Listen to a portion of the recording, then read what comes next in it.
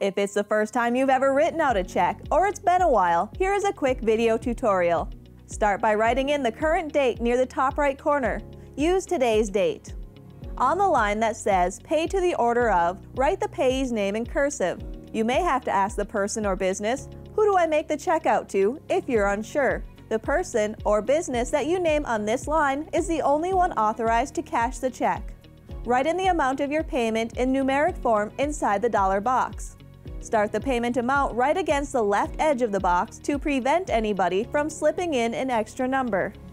Next, write out the amount of your payment using words. Write the dollar amount in cursive. Note that the word dollars is already written on your check, so you don't need to write it again.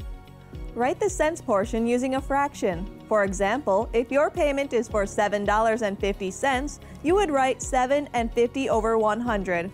If there is only a full dollar amount, write 00 over 100 after the dollar amount.